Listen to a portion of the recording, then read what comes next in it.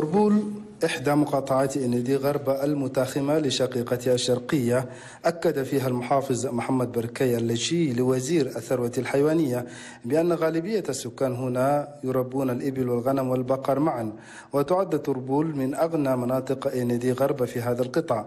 وبالفعل قد شاهد الوزير بنفسه الكم الهائل للماشية هنا والنظام المتبع في الرعي هنا.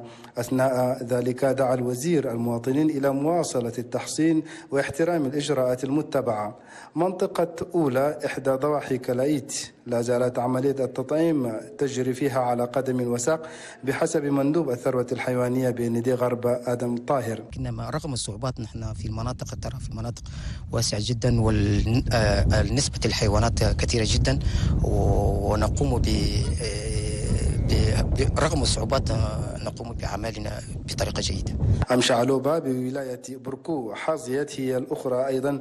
بزيارة وزير الثروة الحيوانية والذي تحدث مع الأهالي عن خطورة عدم التطعيم التي يمكن أن تتسبب في موت أكثر من 50% من القطيع مشددا على وضع علامة وشم في الأذن اليمنى للضأن والماعز